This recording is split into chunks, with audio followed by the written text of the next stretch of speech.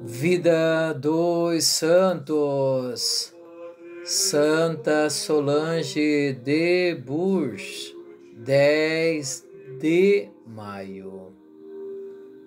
Solange nasceu em uma família pobre e devota na cidade de Villamont, perto de Bourges e consagrou sua virgindade a Deus aos sete anos de idade.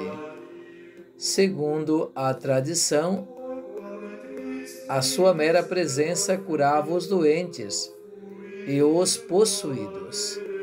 Bernardo de Cotia, filho do conde de Pointers, foi atraído pela beleza e popularidade de Solange e tentou seduzi-la enquanto cuidava de ovelhas, mas ela rejeitou seus avanços. Não satisfeito, ele decidiu sequestrá-la. À noite, ele voltou a, e agarrou à força para levá-la embora para satisfazer seu desejo. Mas ela lutou tão violentamente que o fez cair do cavalo enquanto atravessavam um riacho. Seu captor ficou furioso e a decapitou com sua espada. A cabeça decepada de Solange,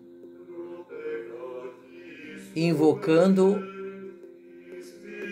o santo nome de Jesus três vezes, assim como Saint Denis, e outros santos nos territórios gauleses. A lenda afirma que Solange pegou sua cabeça entre as mãos e caminhou com ela até a igreja de Saint Martin, na cidade de Saint Martin du Croix, que é agora é chamada de Saint Solange Church, a única comuna da França a ter este nome. Só aí ela desabou completamente morta.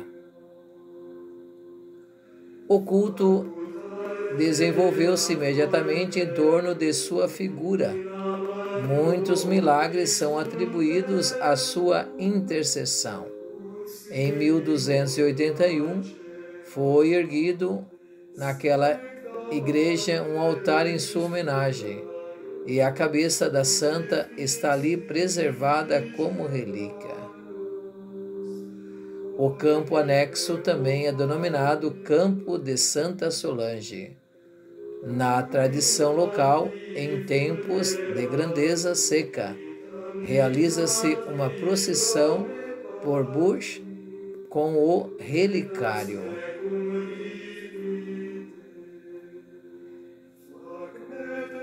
Solange, morta em 10 de maio de 880, foi uma pastora e santa virgem. Outros santos do dia. Santa Blanda, São Nazário, São